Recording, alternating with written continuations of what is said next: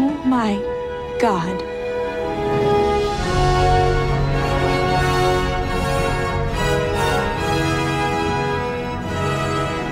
It's incredible.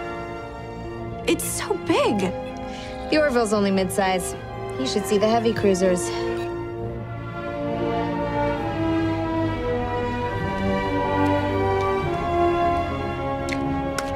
I'll just hang on to that until we take you home. But nobody's gonna believe me if I don't have pictures.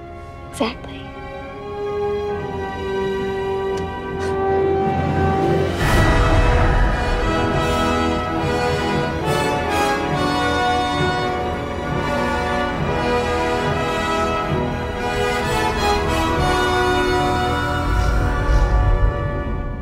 We're sorry.